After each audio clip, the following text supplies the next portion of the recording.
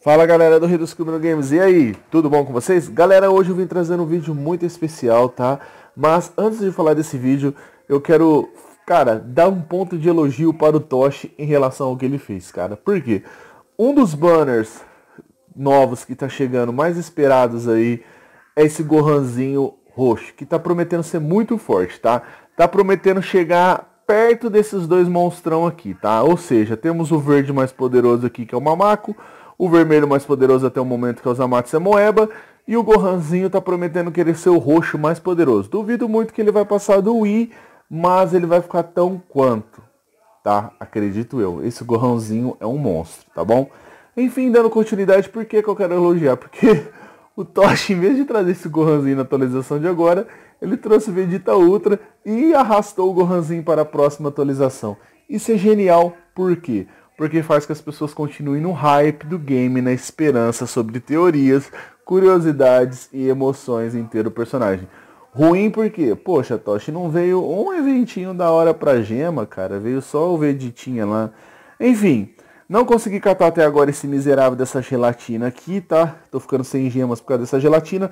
Tô disposto a perder minhas gemas tudo agora no aniversário. Depois eu faço o ajuntamento de gemas de novo. Mas eu queria essa gelatina miserável, mas ela não vem. Mas eu tenho um monstrão aqui. Enfim, o objetivo do game não é falar sobre isso. Galera, nós sabemos que estamos recheados de banner aqui, tá? O, o Dragon Ball Legends nunca teve tão hypado e tão lindo como tá sendo nesse aniversário. O Toshi foi fantástico nesse terceiro aniversário.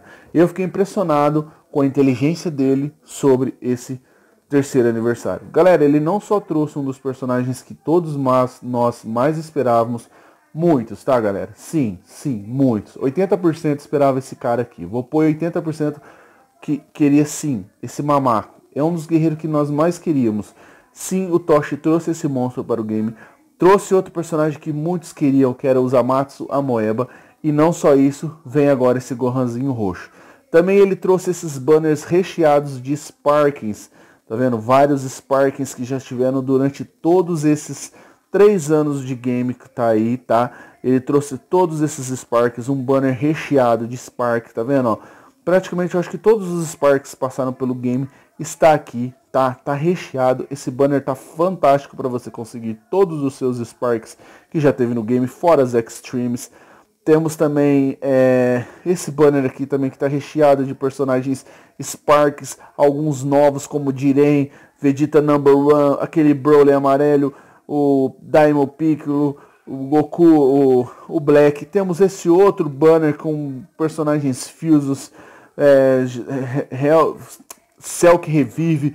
Temos esse outro banner de Sparks recheado da tag GT. Temos esse outro banner aqui recheado de Zenkais que você pode fazer. Cara, temos esse outro banner recheado de personagens aleatórios também, como Diren e companhia.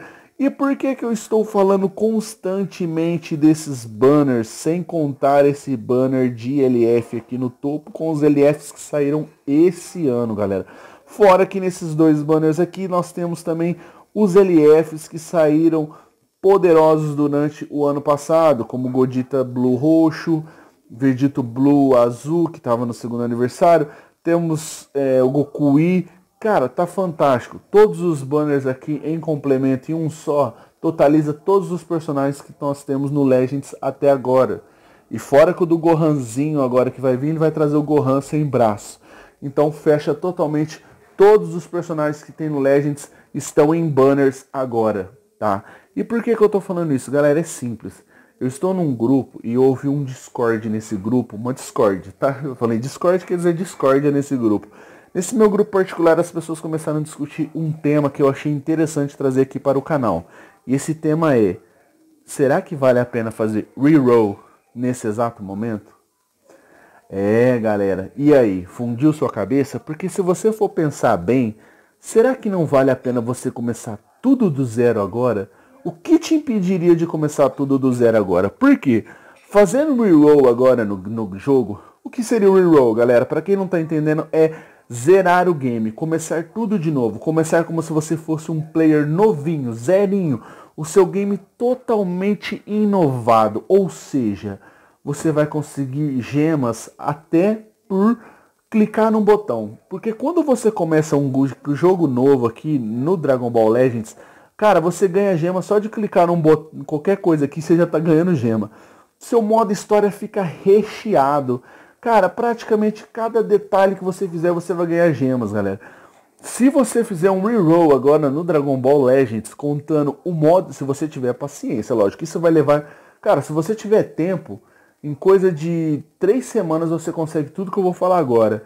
Mas você teria que fazer assim, ó, constante, jogar coisa de 7 a 8 horas de game por dia. Por que eu falo isso? Porque se você começar um reroll agora e jogar de 7 a 8 horas por dia em 15 dias, você, você vai conseguir fazer todo o modo história, você vai conseguir upar todos os seus personagens, vai conseguir fazer todas as novas missões, vai conseguir completar todos os eventos de iniciante. Galera, totalizando, eu fiz mais ou menos o cálculo, tá? Eu, eu quero te dizer que posso estar errado aqui mas eu fiz mais ou menos um cálculo aproximado junto com os eventos novos e as coisas que estão chegando. Galera, você fazendo reroll hoje em dia você conseguiria 100k de gemas. Que? Você diz RD, não, não, tá errado. Não, galera, não tô errado. 100k de gemas. Totalizando que você complete o modo história inteiro, que você upe todos os personagens novos que você pegar e fazer todos os eventos e as coisas novas que o iniciante tem. Galera, olha que fantástico. Imagina com esse tanto de banner lindo aqui, você ter 100k de gemas para summonar. Eu gosto de falar sumar e o povo fica me zoando, mas summonar. E aí, meu amigo, será que não valeria a pena você ter 100k de gemas para ter todos esses personagens lindos na sua conta? Você teria, provavelmente você pegaria Godita, Mamako, Gokui, conseguiria os dragões, conseguiria o Vegeta Kelef, Amoeba, Kefla, Vegito Roxo, Vegito Azul, é... Godita Amarelo. Cara, você conseguiria todos esses personagens aqui do banner com facilidade, com 100k de gemas, com toda a certeza, galera. Fora as gemas novas que chegariam e você sendo um personagem novo, você sabe que qualquer coisa numa conta nova dá gema. Então eu fico me perguntando, será que não vale a pena você nesse momento fazer reroll? Galera, é difícil responder essa pergunta. Por quê? Se você é um jogador competitivo que está numa tag especial, que você joga para uma guild especial e você já tem os seus personagens ali, é óbvio que é horrível para você fazer um reroll agora nesse momento.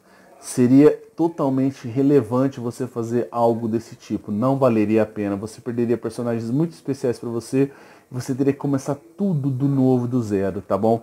Mas vamos colocar que se você também tiver Zenkais, que você gastou dinheiro no jogo para ter eles, também não valeria a pena você fazer reroll. Por quê? Cara, para você conseguir Zenkai vai ser um pouco e um tempo mais difícil.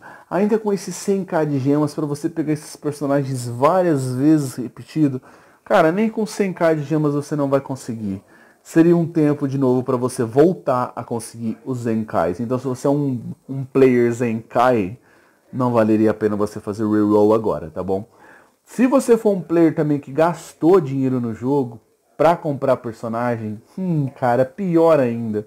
Seria uma dor muito grande na sua consciência pensar que você vai fazer reroll e todo aquele dinheiro que você gastou foi pro lixo. Porque você vai estar tá começando tudo de novo e perder todos os personagens que você gastou o dinheiro para conseguir.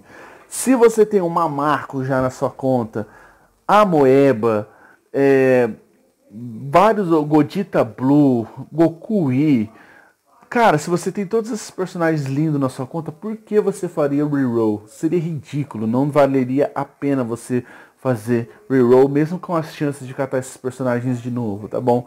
Se você tem afinidade com a sua conta, muito menos ainda, cara, não valeria a pena. Porém, Apenas uma questão eu coloco. Se você é um jogador que só tem personagens antigos, não joga com Zenkai, está com uma conta velha e não conseguiu nenhum desses personagens da hora e o seu hype é sobre eles, eu te pergunto, não valeria a pena começar tudo de novo com 100k de gemas e ser feliz com esses personagens maravilhosos? Galera, é óbvio que eu não vou falar para vocês fazerem isso. É óbvio que eu não vou dar para vocês a intenção de fazer isso, nem motivá-los a fazer isso, galera. Apenas estou colocando em bandeja uma discussão que eu tive num grupo particular meu. Muitas pessoas estão dizendo que o momento certo para você fazer reroll é agora. realmente, galera, eu não vou mentir. Se você tem alguma coisa na sua mente, em pensamento, de fazer reroll no seu game, porque você acha que você começou ele errado, ou se você está enjoado da sua conta, eu não vou mentir. O momento certo para você fazer isso é agora. Porque nunca houve um momento tão oportuno para ser uma conta nova no Dragon Ball Legends como nesse terceiro aniversário. Pense bem, se você for uma conta nova nesse terceiro aniversário, você não só tem chance de catar Godita Mamaco Monstro, que é o personagem mais lindo do game, você tem a chance de catar esses LFs que saíram durante o ano, a Moeba e o Gohanzinho roxo que está prometendo ser um monstro de pancadaria. Então sim, é o momento mais. Fora os personagens que você pode pegar aqui, como fui mostrando nesses banners aqui, né? É o momento mais lindo para você ser uma conta nova no Dragon Ball Legends. Mas se você já está jogando há algum tempo, vale a pena você pensar se realmente seria necessário fazer uma conta nova agora, nesse exato momento, e perder personagens tão queridos, tá galera? Ainda que esteja escassez de gema, pense bem com carinho se vale a pena você abandonar uma conta que você gosta tanto somente para tentar catar esses personagens novos. Fora que, é como eu disse, cara, para catar essas gemas quando você começa tudo de novo, é um trabalho danado, cara. Você tem que ter muito, mas muita paciência para ficar fazendo aquelas missãozinhas do modo história, os eventos, tudo. Cara, você tem que ter uma paciência de Buda, velho, e ter muitas horas de game. Então, galera, pense bem, quis deixar isso no ar aí, não vou mentir. O momento é oportuno para se fazer o reroll e começar uma conta nova. Porém, eu não aconselharia para quem já tivesse com uma conta com personagens que te agradam, tá? Não valeria a pena. Eu mesmo agora tenho 286 de gemas. É pouco, mas tenho personagens que eu adoro, cara. Tenho minha tag aqui que eu tô que eu tô adorando jogar, tá? Tem esses meus personagens que eu tô adorando fazer a PVP aqui, tá? Que essa é a minha equipe Fusion aqui que eu jogo, que é a número 4, e a equipe número 1 aqui de personagens aleatórios que eu jogo porque eu gosto, tá bom? Então eu, pra mim, fazer reroll nem, nem a pau, meu amigo. Mas fica a dica aí, se você tiver algum amigo seu que tá querendo começar no game Dragon Ball Legends, mano, incentive esse amigo, vem agora. O momento mais lindo para ser um New Legends é agora. Até mais.